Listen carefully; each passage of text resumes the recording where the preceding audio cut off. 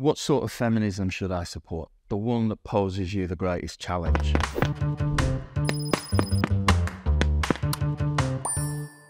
As a young feminist, I said some ridiculous things. You must have come across some right plonkers in your time. I've been a right plonker as well. Hello, I'm Julie Bindel, and this is Action Men, a series in which I have interesting conversations with men that actually get up off their backsides and contribute to the work that feminists are doing to prevent rape, domestic violence, and challenge pornography and the sex trade. Today, I'm speaking with Michael Conroy. Michael set up Men at Work. Men at Work is an organisation that looks at macho culture, that looks at the way that boys are encouraged to fight, to compete, and to be abusive towards girls and, in later life, women. Michael, many people think I'm a man hater. Do you think I'm a man hater? Um, if you are, you're not a very good one. This is what's said about feminists, but I think me in particular because I talk about male violence. Yeah. Uh, well, male violence is uh, is one of the well, it's probably the biggest problem in the world, um, uh, and we have to talk about it. Uh, women have to talk about it because it's your experience, and men have to talk about it because it's our experience as both victims and perpetrators. Uh, whereas overwhelmingly, women are only the victims. Not to say they can't be, but overwhelmingly, we have to look at reality, and the reality is that uh, male violence is probably humans' problem number one. I agree with you, but I'm interested in why you want to make your life more difficult because you could swan through life, man, privilege. I hate that word, but we all know what we mean. Mm. But you put yourself on the front line and you decide to tackle this massive issue. Tell me about the work you do with boys and with men. Uh, well, it's it's dialogue based. I train uh, now. Uh, I train teachers and youth workers and whoever works with boys and young men as part of their professional role, but also volunteers and increasingly foster families as well, which is really interesting and makes a lot of sense because they spend a lot of maybe 20, 30 years kind of bringing up young men. So it was something that I would never have imagined at the outset, but makes a lot of sense. I've done some work recently with various fostering agencies and I think we'll be doing more.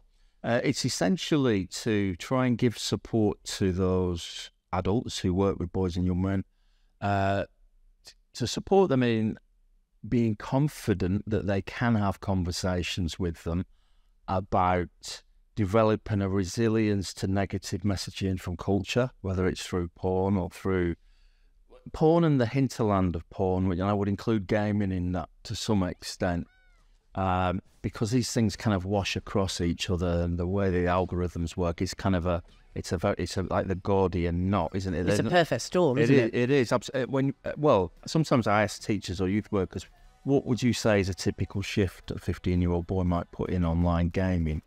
30, 40 hours a week, maybe more in the holidays. That's more than they spend in class.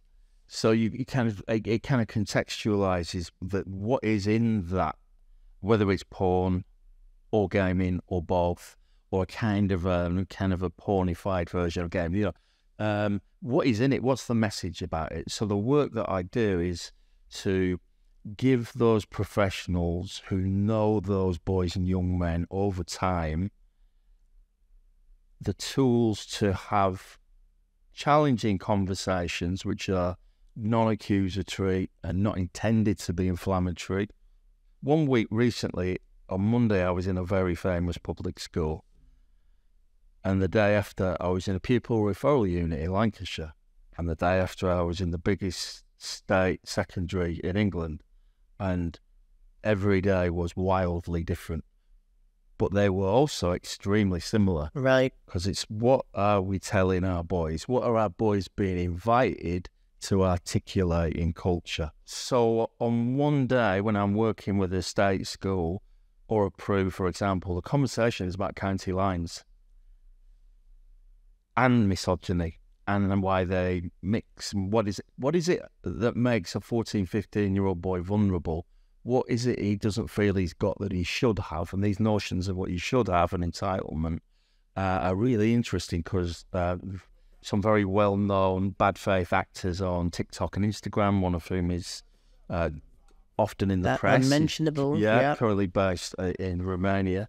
Um, he's the expertise there, and you know, sadly, there is a form of expertise. The ideas are nothing new, but it's appealing to an in, uh, an induced sense of grievance slash entitlement in young men, which, if if- if you're led to believe you should be there, but you're there, and that's where you should be, and that's fine. You're going to keep looking up at it and you're thinking, why am I not there? Yeah. Why have I not got that?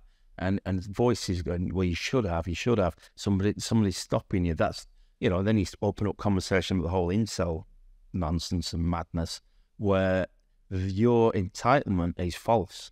That's it. That's the starting premise. You've been fed wrong information. And those boys that have that sense of entitlement grow into men that think they're entitled to control yeah. their female partners, and if they're out of control, maybe give them a backhander every now and again. For sure, if they if they feel the need to, but the experts, of course, don't leave any marks. You know, they're they're, just uh, it's all head games, isn't it? To come back to, I think what what you're asking is is why do you make your life more difficult? I think I'm trying to make it clearer to myself personally, but also because I would feel pretty ashamed of myself not to be as active as I possibly could. And is that because you saw something, experienced something? Was there a light bulb moment where you then couldn't get back from? Because as a feminist, that's what happened to me. Mm. Something happened.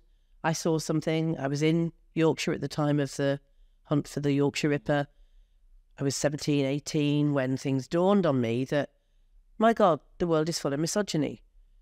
What happened to you? It's funny you should mention those murders up in Yorkshire, uh, um, because as a child in Bolton, even though we weren't fully in, there were roadblocks. And my uncle at the time was uh, checked twice because he worked in Leeds. So it was something that I, I felt un, un, unusually kind of scared of, even as a as a boy. It, it was a it was a strange thing because I was kind of coming to terms with what men can do, I suppose. Uh, and there were there were lots. There's a whole menagerie of these horrendous characters out there uh, um, on the news and uh, in the newspapers, etc. So, on, so just just riffing on really what you were saying there about that time, I think it was a bit of a wake up call, also to other men who I, I've spoken to of a similar age, that, that we kind of realised what men are capable of, in a sense. Strange that it should be that man whose name I'm not going to publicise, but uh, uh, it, it, sort of hit home, and that's a that's a strange thing to reflect on now. Uh, but in terms of light bulb moments, um, no, I've not. I've I've had when we were kids, we had some. We had the, very exciting. Uh, we put strip lighting in our living room, and it didn't really work. So it was always like this works in this room. Strip lighting in your living room. Yeah. Whose idea was that? I think it seemed like a good idea at the time. It was about about the time that Quiche hit Bolton. so anyway. Uh, but the strip light at the start starter motor never really worked. So it was like a lot of false starts. So I'm thinking instead of our light bulb moment, it's more like a very like Right. a mile long strip light that kind of keeps starting, flickering, not really knowing what to do. I, I, it reminds me a little bit of this guy Paulo Freire in Brazil, who writes about levels of consciousness, and that's something that kind of underpins some of the DV perpetrator work that I do uh, in association with Women's Aid, actually up in Manchester, Pankhurst Trust. Um, and it's the idea that you don't just suddenly become conscious; you you go through a process of having an inkling of feeling uncomfortable, retreating from it because you don't like the discomfort, but knowing that you have to keep going. So it's that kind of to and fro, like the waves on the shore, rather than a single directional linear movement. And I think that uh, is a fairly good descriptor, really, about the feelings of, uh, you know, like loyalty to friendships that you just can't have anymore. Um, things you wouldn't might have turned blind eye to in the past or participated in, you just can't or don't because they're just wrong. They just they're not you anymore. They know all that kind of stuff. Um, but never thinking that there's a destination that you've uh, arrived at. It's just a constant movement and um, and oscillates a little bit. Well, I want to talk to you a little bit about class and thinking about stereotypes as well of anti sexist or pro feminist men, and I don't know what term you would use for yourself, but we can definitely come to that. But when I first came across men that were telling us that they were wanting to be part of the women's liberation movement, do some good, contribute to our efforts, it was in the very early 80s, and I was still in my teens at that time. I was in Leeds. I was at a conference against pornography and violence against women. And the creche was run by men. And there were some women saying, we can't have men around kids, they're not safe which obviously we know that to be true, but we also know that to be quite quite an extreme position. Effectively, what we're saying is you can never have men around kids. So it seemed to me a very bleak outlook. Yeah. And then at the same time, there were these men, and some of them will have been genuine, but what I picked up on was men posturing, Yeah. doing the childcare, helping the women, Yeah. when in fact it was their job, being what we called Nigel. That that was our word. That was our name for for these men. And they had, at the time, a magazine called Achilles Heel. It was full of very middle class men on a therapeutic road. Right. Yeah. In other words, you know, my penis resembles a flower. Uh, my mother was horrible to me, so I'm a kind of faint hearted victim of the patriarchy. And then the odd one that would say things like, rape is terrible and it's men's responsibility to do something about it. So it was a mishmash, but I found them all to be extremely middle class yeah. and, and very bookish. So they'd learned feminism through books, Yeah. whereas I'd learned feminism through doing. And obviously, we're calling this series Action Men because for me, you have no right to claim that you're part of any political movement unless you're doing action. Yeah. Thinking isn't enough. Tell me what you experience about the stereotypes. You must have come across some right plonkers in your time doing the work that you do. I've been a right plonker as well. so I have a an, a an atom of sympathy for them. Um, uh, yes, yes, yes, I have. I've got a red flag comes up if any man calls himself a feminist because, but I do know some good men who have done that and said it in public and been slated for it rightly with this part of me brain rightly. But I'm thinking, what's what now though? Where's the aftercare? What can I do? So I try. And how do we keep him on track as well? Just because yeah. he's, he's slipped up, how do we still keep him? Yeah, because I think some of them come to it from the point that feminism isn't a dirty word; it's a good thing. Therefore, I should support it. Therefore, I'm going to put my name to it, and not have the thought process of actually whose is this thing. So it's not ours. And I think if any if any men are watching this who are in that space, I would just um, put it this way: really, is if we cannot hear the women who say feminism is ours and it's not yours, then if we continue to say that I am that or I'm part of it, then that is an aggressive act, an abusive act. So that's one thing. And I grapple with this all the time. Because, of course, the other side of that is the genuine man who uses language that irritates some women. But it doesn't mean we then cut our ties or condemn him to the point of where he's out of the movement. As a young feminist, I said some ridiculous things and I wasn't cast asunder. Um, and I stayed in the movement because we support each other. And what does it matter? It's, it, it's, you know, sometimes it's a word, sometimes it's an attitude, which is more problematic. yeah, But here's the thing that I want to know from a man that does this work. How do you distinguish between actual feminists, those that are genuinely working to end patriarchy, end male violence, liberate women, and live in a truly egalitarian society? And I would put myself in that camp. And those absolute plonkers that masquerade as feminists. It used to be that no one wanted to be called a feminist, and now everybody claims it. But they're saying, for example, Beyonce's a feminist because she's a strong woman and she's done well for herself. Or someone's a feminist because they fight for the rights of women to do sex work and stripping. Or someone's a real feminist because they speak for all women, including women with penises, so trans women.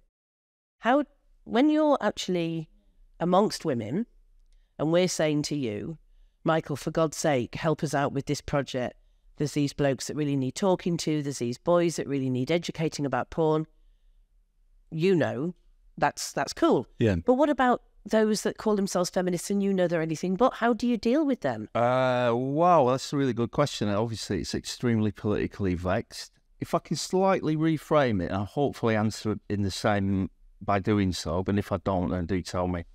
Um, I've seen a couple of conversations with men, and I've had conversations with men occasionally behind the scenes. Men occasionally meet, uh, talk about football and fighting and beer and Of things course. like that. Yeah, Where are you going to get your next tattoo? Exactly, yeah, that kind of stuff. But we do occasionally, you know, guys in Australia or Canada, we might just occasionally have, have, have uh, meet meet up and a couple of hours and say, you know, what's the best way we can contribute to this? What are we seeing that's really going wrong with men who we thought were on side, um, etc. And I guess the question is, and I have seen it posed clearly on Twitter, for example, or X, whatever it's called these days. what sort of feminism should I support? Answer the one that poses you the greatest challenge. Avoid the ones that don't challenge you at all. Avoid the ones that say that whatever you're doing is fine because you're part of some bogus empowerment or liberation. So if you're being told by women and women are exposed to misogyny as are men and internalize it in different ways because you have a different subjectivity within that that kind of overwhelming paradigm uh, women do sometimes say, but mean, occasionally I've made comments around prostitution and pimping online or in public, and they say, "Who are you as a man to tell me that I can't do that?" I say, "I'm not telling you anything. Never would, never will, never have. I'm saying to my brothers that if you buy women, you're abusing them. That's it. That's the end of the story. Uh, and if you choose to offer as some kind of uh, reason or justification for that, that some women whose life story and the pressures within which we will never know lead them to say that in public or to you, then th- that's your fault. that's your accountability. Often I say to the, the young men who I've been working with over the years, why, and men, uh, adult men who I work with now, I start it by saying, why do people believe things? Is it's part of the reason we believe things because they suit us and they please us and they are in alignment with our habits and our thoughts and, and behaviours. Too right. I mean, tell me a bit about yourself and your political allegiances, if you have any. Describe your position in the world and tell us also about what led you to the work with boys and with men. Uh, yeah, politically, crikey, a bit of a mixed bag. Um, I would say traditionally from a Labour background, uh, working class from a little town called Horwich near Bolton. All family. Uh, my mum was a teacher. She was the first educated uh, university goer in our family. Um, and but you know, two up, two downs. Uh, typical work Irish Catholic influence. You know, back in the day, up up there in Lancashire. I know Horwich, a friend of mine was the mayor there. Oh, really? Yes, Chris Root.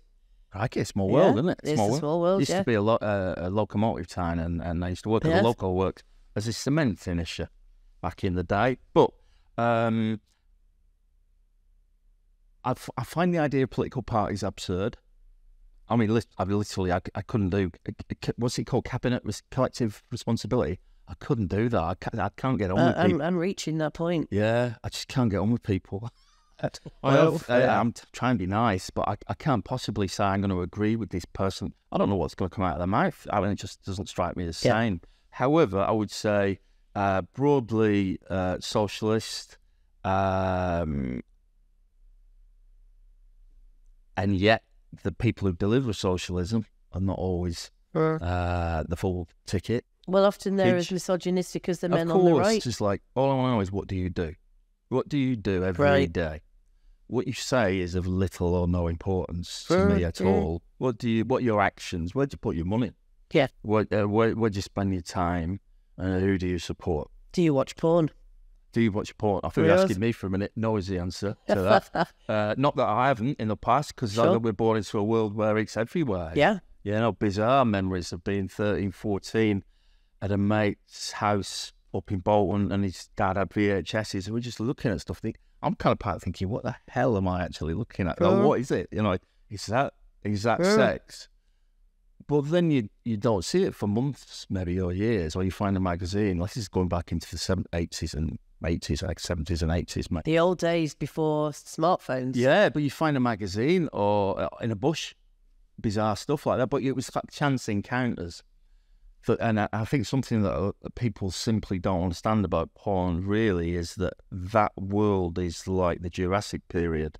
This is entirely different. It is everywhere. It's within seconds for anybody all the time. And it's now. I mean, the the porn magazine Playboy that I found under my brother's bed in the seventies is now on our TV screens as just background music. Yeah. And they've got no idea. We we had no idea in those days when I first started campaigning against porn, even with the infamous cartoon photograph on the cover of Hustler magazine of the woman being pushed through a meat grinder. We had no idea how much worse it was going to get. But tell me how you approach that with boys, because you work with boys and you work with male perpetrators of domestic violence, don't you? Let's start on the boys. What do you do with them? Well, that that stems from I spent 16 years working in secondary education in in the Midlands in Worcestershire, uh, sort of South Birmingham area, uh, working across a group of high schools, doing things around citizenship, community outreach, charities. I was very broad brief. I, I was given a lot of latitude, which was quite lucky because I'm the kind of person who needs it at work. Um, and I, I, was allowed to set up uh, boys' uh, conversation groups, support work uh, for lads of about 14, 15, 16, up to sixth form, 17, 18 sometimes, across a few schools and supported in that by teachers. And the reason for that was, I think it was about 2015, 2016, uh, we started, that was when smartphones were kind of hitting some of the kids. And then the year after, almost all. And then since about 2018 also, it's been everybody, but, but also going into primary. And it just kind of blew everything into school that had been there in drips and drops here and there, but it was what happened once a month was now once a week, or once a week is now every day. And instead of just year 10, it's year 8 and 7, and we're hearing about it at primary. And it, it, it is pornification. We're hearing about porn in primary school. Yeah, yeah, yeah, yeah, for sure. Yeah, no, absolutely. Uh, I've got family teaching primary. If you've got the device, the only thing that stops, the only thing between a child and porn is safeguarding aware adults. That's all there is. So that you mean adults that understand the actual harm of porn as opposed to doing that shaming and anti-sex and yeah. humiliating, which doesn't work, does it? No, uh, and which is in fact what porn is. Right. that, that kind of orchestrated humiliation in, in right. a way. But it's the the uh, the parents and teachers, parents, carers, teachers, whatever that kind of nexus is. The only thing you can't stop a child accessing the internet. It's just the genie is out of the bottle. It's gone. But what all we can do, therefore, is consciously have really good conversations with all parties involved, which is safeguarding based, which is not moralistic or pointy fingers. That doesn't work. It's just it's about the approach and whether an approach works or not. Because it's very easy to jump in with both feet and say this is awful, it's terrible, and yes, it is, but that doesn't work. It, uh, it, have... it doesn't work. And thinking about the way that kids going through puberty or approaching puberty are so mixed up about sex and how girls often, and some boys obviously, but so many girls have like their first sexual encounter is unwanted. Yeah. And then I hear about kids at school and sometimes girls, young girls like 12, 13, 14, have come to me when I've done talks in schools and said things are happening to them that they're really unhappy about, that it say rape, they don't use particular words that are too loaded. Yeah. But nobody's actually had the conversation with them to find out what's going on at home, what's going on in the schoolyard. It's extraordinary because it's such a huge part of, of, of our youth. It is. It is. And recent reports from Gosh Ofsted, everyone's invited, the NEU. Just, it seems like a constant cycle of reports that keep telling us these things are happening in our schools.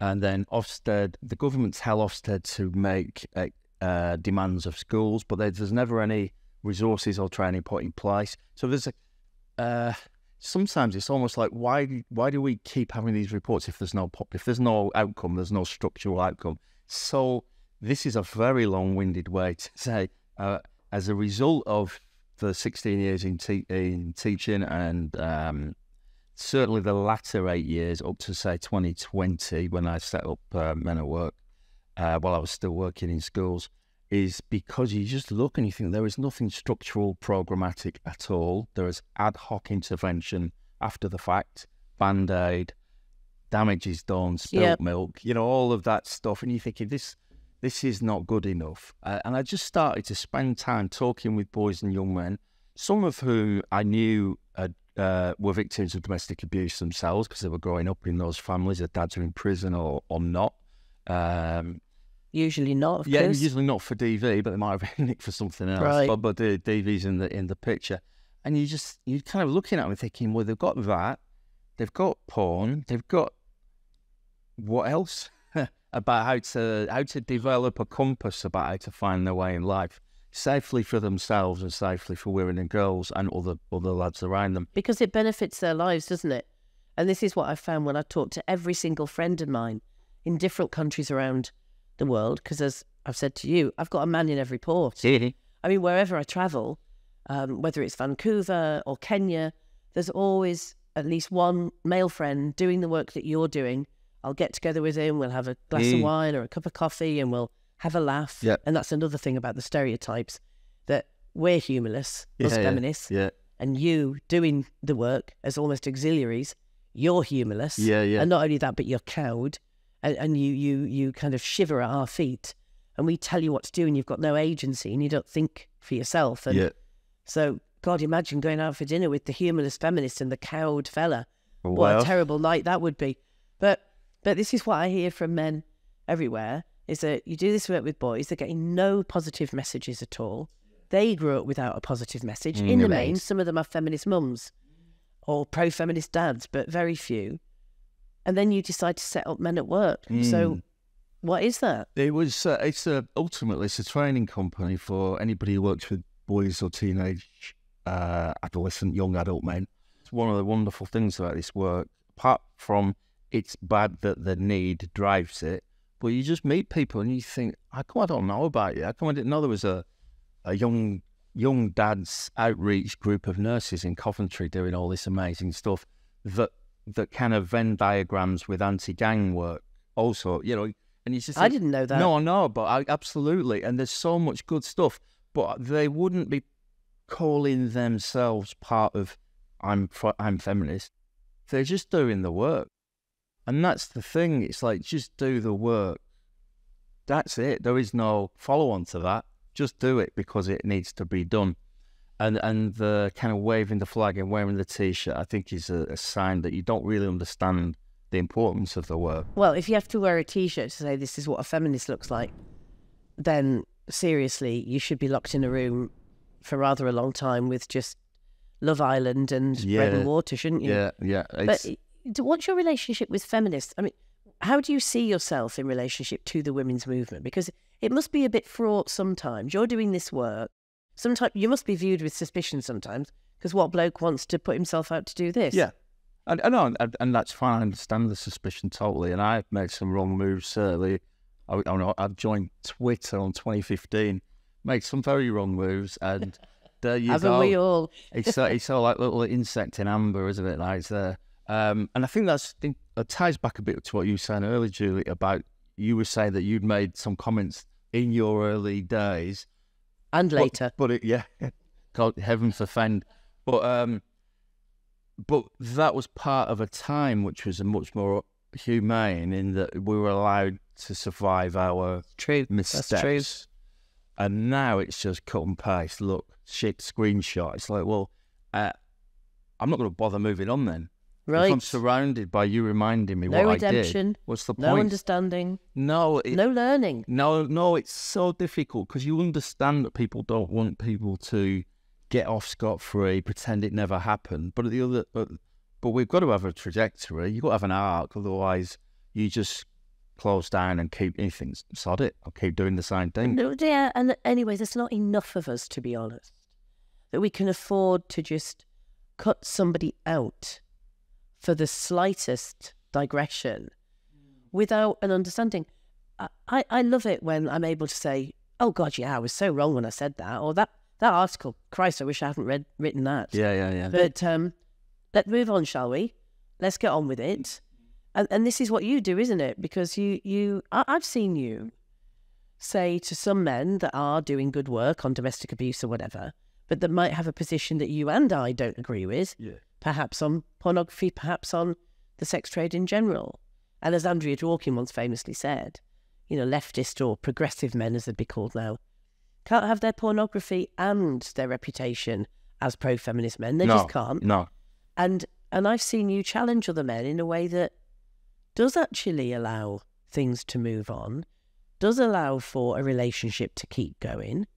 Surely that's what we need to. I used to be much less forgiving of myself and others, I, but no, no, we can't do that. I, I do try to be. Um, and in, in real life, I well, not that Twitter isn't everything is real life, but in the physical realm, uh, I I tr- I try to treat others as I would like them to treat me. I've been treated really kindly by people who saying, "Mate, you got that totally wrong," and I've sat down. I thought, "Shit, I've really got that totally wrong." Okay, thanks. I didn't get it. Now I, I get it, or I kind of understand why why you've said that.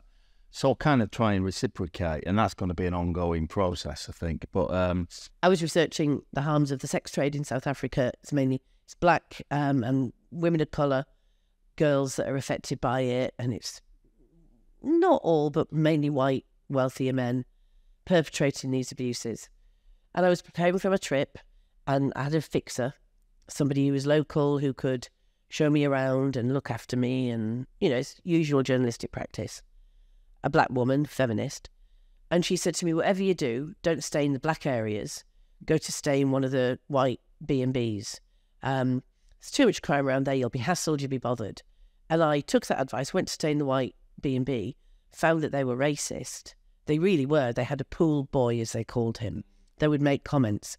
I felt really uncomfortable.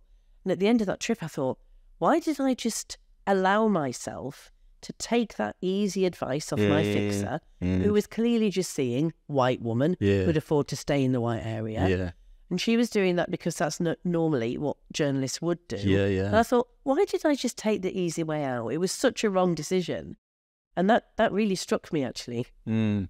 And when we've done it, all the best we can do is try and learn from anything, isn't it? Really, just There be- is, but we also have to have a laugh at the same time. I mean, you know, I can't bear irrever- I can't bear those reverential kind of overly earnest people that just think that you have to take a particular perfect line on everything. No, I mean, I call women birds for a laugh. For a laugh. yeah, yeah. You know, I'll make jokes that come directly out of sexism. Sometimes you'll see people looking at you as if to say, "But you're a feminist. How can you talk?" That's, I think, probably why we get on because we're a bit more relaxed about stuff that isn't perhaps life-threatening. Yeah, but just to I'm not suggesting that you'd laugh about being saying birds. I know No, you wouldn't. I was- I I know going- you wouldn't. Uh, That my secret stand-up routine is is to remain secret. the Bernard Bernard Manning homage. Uh, no, I I, I think um, being pole-faced is you know it's Oh, an it's unfortunate affliction, isn't it? Really. Uh, Well, I wanted to go out for a drink with a friend of mine um, over in Vancouver, uh, a man doing very similar work to you. And he said, Oh, you've got to meet my friend, let's call him Jeff. And uh, Jeff comes out and says, Come on, boys, let's go and get a really nice gin martini. And Jeff started telling me about how alcohol was a patriarchal tool and about how it causes violence. And, and I just thought, I just want to go and have a martini, mate. see you, Jeff. I really just want to go and have a drink, yeah. you know? Yeah, yeah, yeah. Oh gosh, yeah. Uh, but then, what? What's the meaning of that behaviour to him? I'd be fascinated. I, I, I would, I would like to go out for a night with Jeff, and I'd hate to go out, like, but I would be fascinated, I kind of think like, I might interview Jeff for this series, actually. yeah, yeah, about, about his theory. But seriously, thank you, Michael, because um, I am so optimistic about actually boys growing up and becoming men that are whole human beings, and you're part of that. So thank you. That's the work. Thank you.